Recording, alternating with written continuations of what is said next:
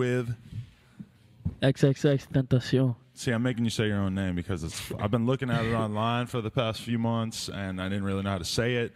But uh, hey, South Florida rapper XXX Tentacion might be the first new star of 2017. His breakout hit, Look at Me, has been streamed over 20 million times. I like bitch who is your mess, ayy. Can't keep my dick in my pants, ayy. My bitch don't love me no more, While his music has been blowing up, the 19 year old artist has been locked up in Broward County Jail, awaiting trial for felony charges that include home invasion, robbery,